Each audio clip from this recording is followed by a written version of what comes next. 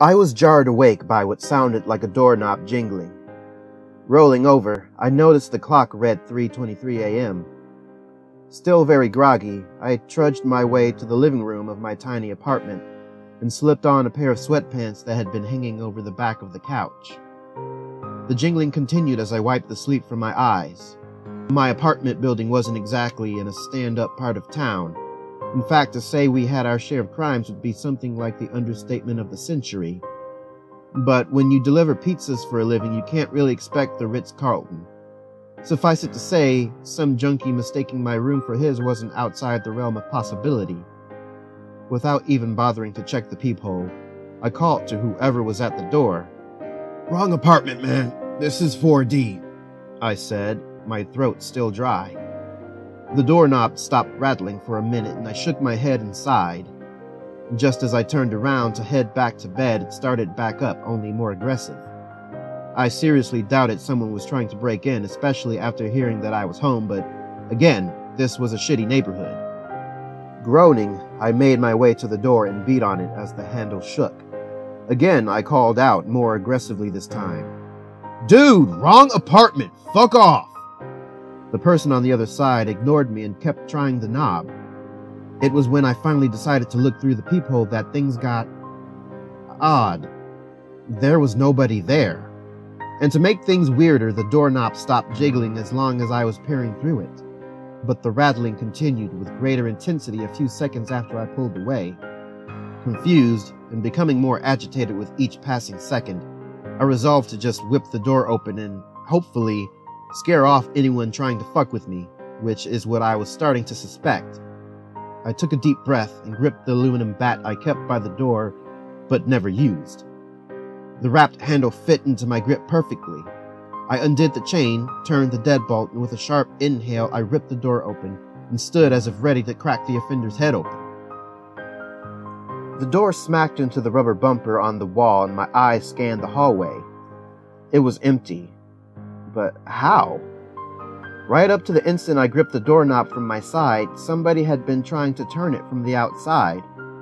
I just stood there, looking like a nut bar as I searched for any sign of life, to no avail. I muttered to myself and paced out into the hall.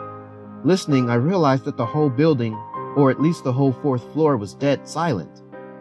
None of the usual sounds of loud rap music or arguments. No laughing, raucous sexcapades, or crying children. I couldn't even hear the cars in the street below.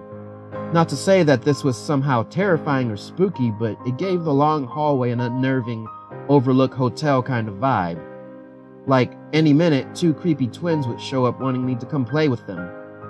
I laughed it off and lowered my bat. Whoever had been was gone now. I headed inside, reset the locks, and sat down in my bed. I stretched, let out a deep yawn, and fell backwards onto the mattress. No sooner than my eyelids had closed, the doorknob started up again.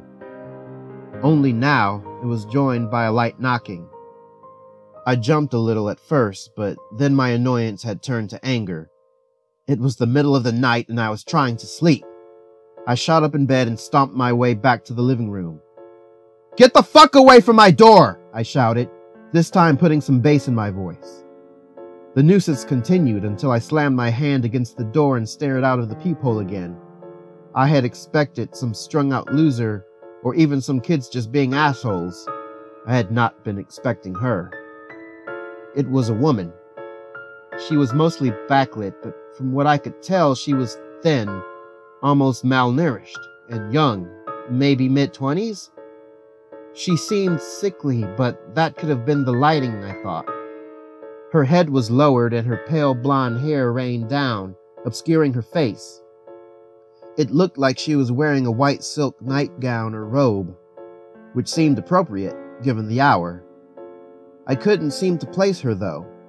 I didn't remember ever seeing her in the halls or the laundry room, and there hadn't been any moving vans out front in a few months. Her appearance had caught me off guard, and all the anger and annoyance had left my body. She whispered in a voice so low that it took me a second to even realize I had heard it. Hello? Could you open the door, please? I was dumbstruck. Was this woman really the one who had been screwing with me? She didn't look the type. I need you to open the door, she whispered. Please let me inside. She knocked slowly between speaking. Is everything okay? Are you hurt? I couldn't bring myself to just open the door for her. Something about the way she just appeared out of nowhere set me on edge. And if she really needed help, why all the messing around? Everything will be fine, Nathan. Her tone sounded almost maternal, as if she was soothing a child having a nightmare. But how did she know my name? I was fairly certain I had never met this woman before, though she did seem familiar somehow. I brought my eye away from the peephole and rubbed my head. I'm sorry, do we know each other? Do you need me to call the police or something? I struggled with myself. I mean, if she needed help, who was I to keep her locked out in the hallway? For whatever reason, though, something in me knew I shouldn't. Of course I know you, Nathan. Now please. She paused for a moment. Open the door. As unsettling as the whole situation was, I felt my anger rising back up in me. Just who the hell did this chick think she was to come here and harass me in the middle of the night? And claiming she knew me? I gripped the bat again, more for moral support than anything, and undid the deadbolt. I could hear her murmuring something, but it was too quiet to make out. I left the chain on, though, in case she decided to make a move. Look, lady, I started, yanking the door open, but was cut short at what I saw through the open space. Nothing. Again. As if the woman had never been there to begin with. The hallway was as void of life as it was before. Slowly, I closed the door and stood silently in the darkness of my living room. My mind struggled to make sense of what was happening. I must have been dreaming. There was no other way to piece it all together. Just a really strange, unnaturally vivid dream.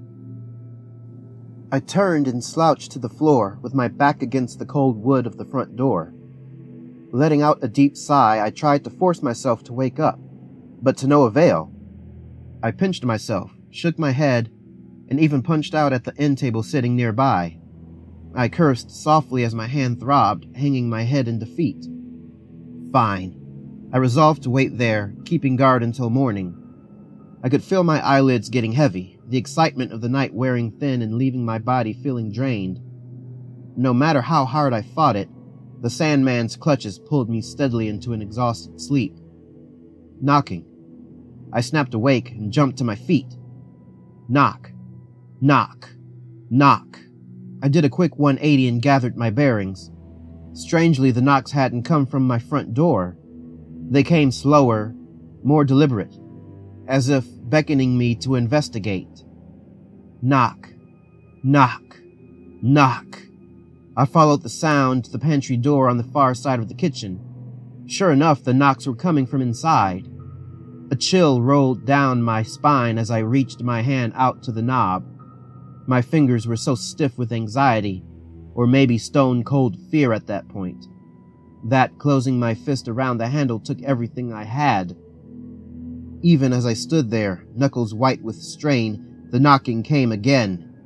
Knock, knock, knock. who's there? I stammered the question, wishing I could have been more stern. No response came. Seconds passed, then a minute. Five. I couldn't take it anymore. My heart had worked its way into my throat and was pounding out an intense beat. Every primal instinct I had was screaming, Run! Don't do it! Just go back to bed and hide under the covers. It'll all go away when the sun comes up. But I couldn't help myself. I had to know. I shuddered a breath and closed my eyes before ripping the pantry door open. Standing in the kitchen, the tile cool against my feet, I kept my eyes squeezed tightly shut for easily the longest moment of my life. Cold sweat chilled my back, and my blood pressure had to have been through the roof with anticipation. I opened one eye, then the other. scanning the space before me frantically for something, anything to show me I wasn't imagining this. But again, nothing. Suddenly, the bathroom door handle began jiggling, while someone knocked aggressively from the other room. Knock, knock, knock! Faster and harder the beats came. The door sounded as if it would burst from its hinges. I ran to the bathroom high on fear and adrenaline and gripped the door handle. As soon as my clammy fist closed around the knob, the front door began rattling and the knocking continued as if never interrupted. I whipped around and again raced to the living room door. Before I could cross the threshold, the closet started in, then the pantry again, followed by the cupboards, cabinets, and even the walls. Knock, knock, knock, knock! The sound was deafening now. It was as if it came from inside my head. I couldn't see. I couldn't breathe. The room around me felt like it was collapsing in on itself. I dropped to my knees and screamed, tears rolling down my face. I buried my head in my hands and sobbed and screamed, begging for mercy until my throat was hoarse. At the pinnacle, when I could feel the fragile stitching on my mind coming undone, when I couldn't bear it for another second more, it all stopped. The knocking, the rattling, everything became chillingly still. Sitting there in the shivering heap on the floor, my head still pressed firmly into the carpet, I let out a soft laugh. But my victory over this nightmare was short lived. Hello, Nathan.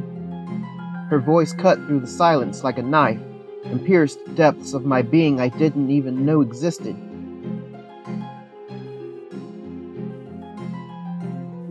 Police found the body of Nathan Cartwright the following morning. Neighbors had made several calls throughout the night to report sounds of screaming and crying. Upon investigation of the apartment, police discovered no signs of forced entry or struggle.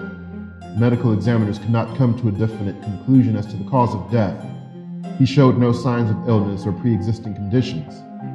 Autopsy showed no signs of internal complications. It was as if Nathan Cartwright simply stopped living all at once.